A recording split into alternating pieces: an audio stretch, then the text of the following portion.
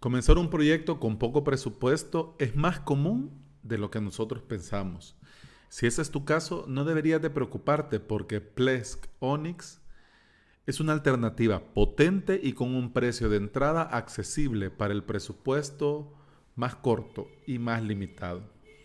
Te saluda una semana más Alex Ábalos y este es el episodio número 15 del día lunes 3 de diciembre de mi podcast Implementador WordPress, donde comparto contigo mi camino como implementador y emprendedor digital. El día de ahora quiero comentarte eh, con precios y con un poco más de detalle cómo es el proceso de contratar eh, Plesk Onyx en un VPS. Eh, las licencias de Plesk es como el dominio el dominio no lo compras si es tuyo, como, como compras antes, como comprabas, por ejemplo, un antivirus, que comprabas el antivirus en las tiendas de, de, ventas de accesorios de computadora y vos ibas y comprabas tu antivirus y te daban una cajita con un disco de instalación y un número de serie y ese era tu antivirus durante un año. O sea, ahora con, con, con las licencias nosotros no tenemos algo físico. Nosotros contratamos por un tiempo el servicio. Ya sea, por ejemplo, el dominio, por ejemplo, avalos.sb, yo contraté por un año eh, eh, mi dominio. Claro, después de ese año, si yo no lo renuevo, queda libre para que alguien más lo pueda contratar.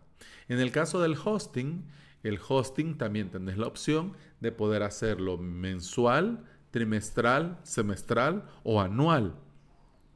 Yo en este momento lo hago mensual porque quería ver eh, eh, el uso, del el, consumo de los recursos y ver de qué manera eh, podía sobrevivir cuánto tiempo con esos recursos, cuántos dominios y cuántas webs podían trabajar con esos recursos.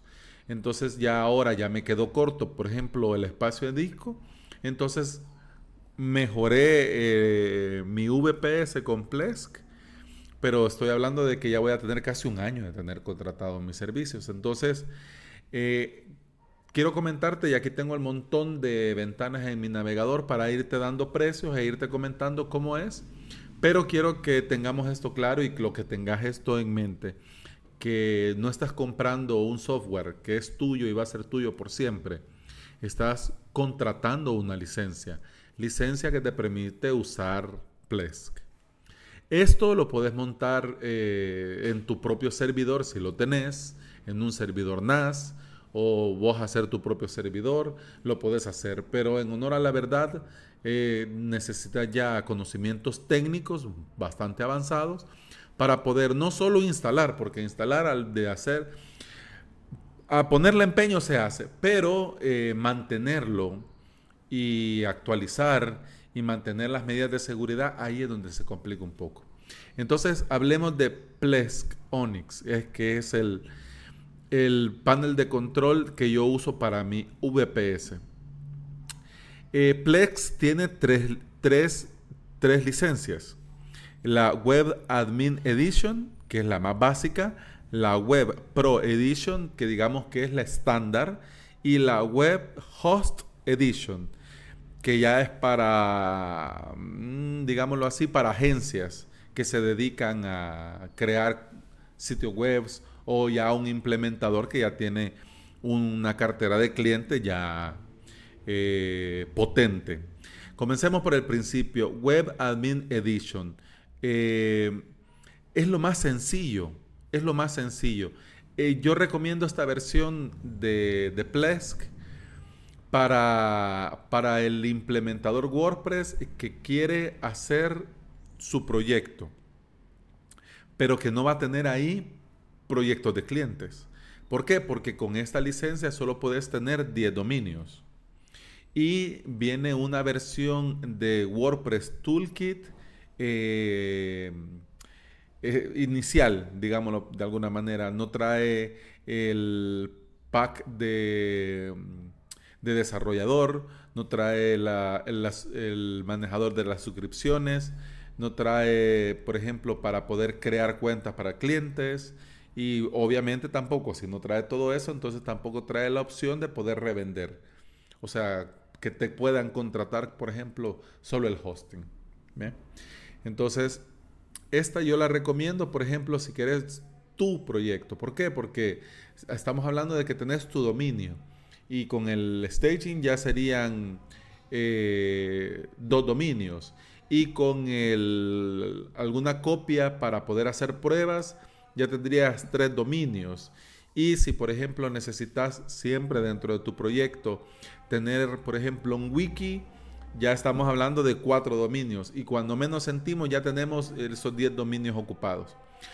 Podés ofrecer a un cliente en esta versión de Plesk eh, hosting, sí se puede, pero eh, prácticamente tendrías que administrárselo vos porque no le podés dar acceso a una cuenta de, de tu cliente. Tiene que ser siempre con tu cuenta, cosa que no es muy recomendable. La versión que continúa es la versión Web Pro Edition. Ah, perdón. Los precios comienza la versión Web Admin Edition, que es la, más sencilla, 9 eh, dólares al mes, 9.16. Ya ahora vemos el precio más adelante, pero, pero quédate con eso ahorita. La versión, digamos, para, para comenzar bien, es la versión Web Pro Edition, que cuesta 13 dólares con 75 centavos. Esta silla es una versión ya para comenzar holgado. ¿Por qué? Porque podés eh, administrar hasta 30 dominios. Tenés la versión completa con todas las funciones de WordPress Toolkit. Tenés también el pack de desarrollador. Tenés también la, opción de poder crear cuenta para tus usuarios y crear suscripciones. Que eso en otro lunes de Plesk te lo comento. Lo que sí no puedes hacer con este es eh, revender hosting. Eh, pero igual, con, la suscripción, ya tu cliente puede, tener, digámoslo de alguna manera, este, su, su, propio acceso, su panel y todo, ¿ya? Pero no es tan pro, porque no está pensado para revender. Entonces, es, esa es la diferencia además del número de dominios, que es la versión Web Host Edition que cuesta 41 dólares al mes. Esta versión sí son con dominios ilimitados. Aquí sí. Entonces, si ya tenés una cartera de clientes potentes y ya te quedaron cortos esos 30 dominios, entonces bienvenido. Claro que significa si tenemos, digamos, 30 webs funcionando, ya solo con que con el mantenimiento de que podrías cobrar, ya estamos hablando de que ya tenés ya el pago de, la licencia de Plex. Bien, eh, estos son los precios de Plesk, de plesk.com. Pero yo te recomiendo que cuando vayas a contratar, eh, busques la alternativa VPS, porque es la más económica y funciona muy bien. Y además buscar eh, partners partners de Plesk. Por ejemplo, está Automatic, que son los, los, los eh, de WordPress. Por ejemplo, también la gente de Docker, eh, la gente de Amazon Web Service. Está también OVH eh, y, así, en fin, hay varios, varias empresas de hosting. Aquí por ejemplo, Plex te vende la opción del, pack, por ejemplo, la licencia, y también te da la opción de darte hosting, pero ya el precio es bastante, bastante considerable. Claro, y esto estamos hablando de precios por año, pero si vamos comenzando con el proyecto, nosotros en este momento, por experiencia te lo digo, porque cuando fui comenzando yo, yo no tenía, por ejemplo, 400 dólares para comenzar con el hosting es cierto, estamos hablando de un año, pero no tenía esos 400 dólares disponibles para eso. Entonces, ahí viene la opción de OVH.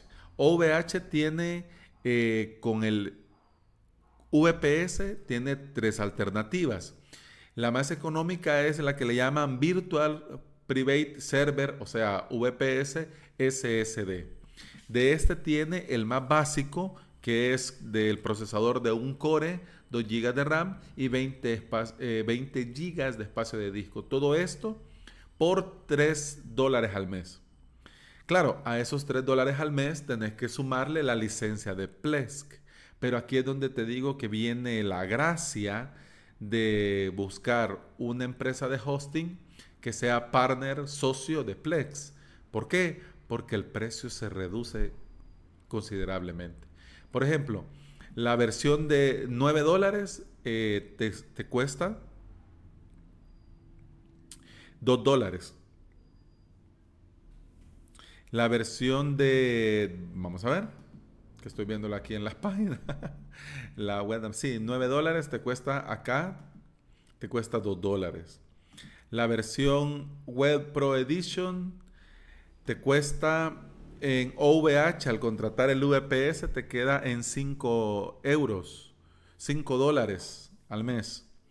Y la otra, eh, que es la versión top de 41 dólares en OVH al contratar este VPS de 2,99 dólares o euros, te sale en 14 dólares. Estamos hablando de que con 14 dólares, 14, estamos hablando de casi 18 dólares, tendrías eh, dominios ilimitados y todas las funciones de Plesk. Pero claro, si vas a tener dominios ilimitados y dependiendo de qué tipo de también de webs vas a tener, un core y 2 GB de RAM y 20 de espacio de disco te va a quedar corto. Pero bueno, vamos a, estamos hablando de comenzar. ¿Cómo comencé yo? Yo comencé con, con la versión VPS 2018 SSD número 1 de OVH. Así comencé yo. Y a la hora de seleccionar eh, querer contratar, te pregunta eh, la localización. Eh, y esta localización es por la IP que va a tener tu, tu VPS. Mm, lo más recomendable es pensando, claro, el Internet es mundial. Cualquiera puede ingresar desde cualquier lugar, eso es cierto. Pero tenés que tener en mente, por ejemplo, las cuestiones de ley. Las cuestiones de ley, por ejemplo, eh, Estados Unidos tiene una normativa y tiene una regulación en algunos contenidos, la Unión Europea tiene otros. Entonces, ese es un punto, pero el punto que tenés que pensar es en, en tus clientes a dónde van a estar.